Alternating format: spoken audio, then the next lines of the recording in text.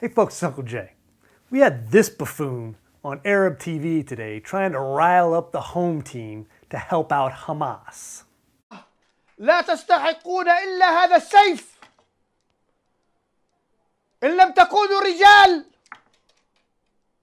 دع الرجال تقاتل إن لم تكونوا رجال You probably want to be careful what you ask for there, lunch meat. You just might get it. There's plenty of us who stand with Israel, and you don't want us coming over there. The last thing you guys want is the cavalry showing up.